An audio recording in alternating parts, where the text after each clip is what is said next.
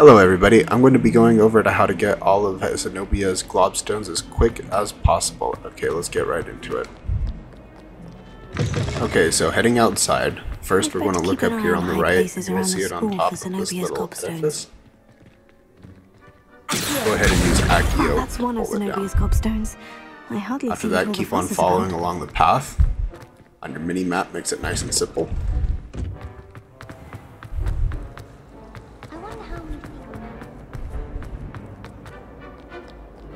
So head along up these stairs. You want to follow the path all the way to the top. Before though, you can find on the right here a page to collect, so you can use Accio on that as well. And follow up the spiral staircase. At the top, in a chandelier, it's going to be uh, accessible up here.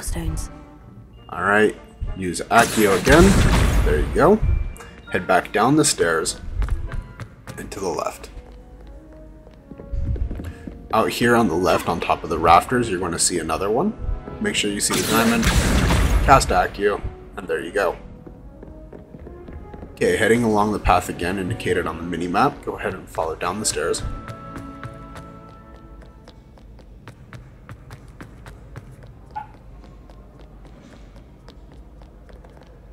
Oops, yeah, up the stairs here, and up the spiral staircase.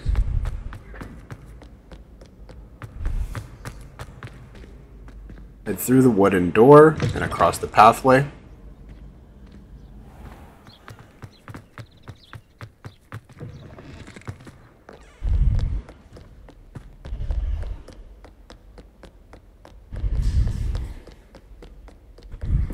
Up here on top of one of these columns to the right, you'll see the next one.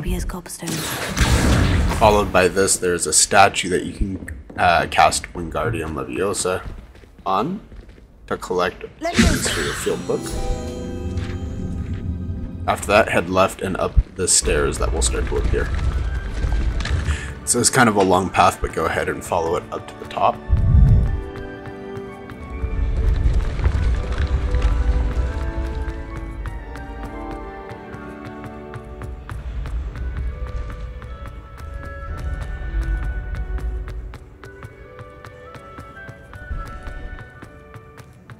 Before we get to the top here, go ahead and take a right into this little alcove and up the next set of stairs.